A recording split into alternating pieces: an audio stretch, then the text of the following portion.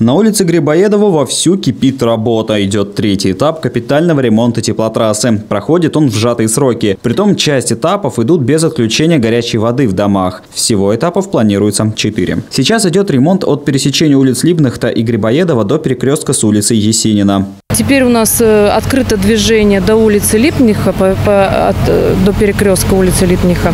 И сейчас ведутся работы по засыпке ка- канала тепловых сетей до улицы перекрестка улицы Есенина.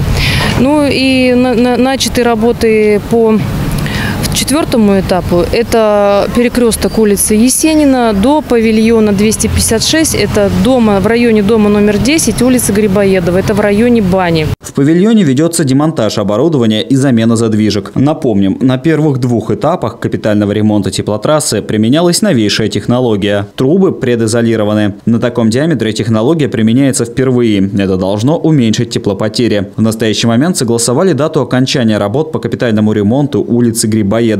Работы планируют полностью завершить в первых числах августа. До конца недели июля месяца будут завершены, пу- пущено движение по, до улицы Есенина. Стоит отметить, что всего в 2019 году МУП РМПТС запланированы работы по замене теплотрассы на 10 участках. На большей части из них они уже выполнены. В августе планируется замена магистральных тепловых сетей в районе Ряжского шоссе и на улице Новоселов. Движение там перекрывать не планируют. Валерий Седов, Даниил Пилипенко, телекомпания «Город».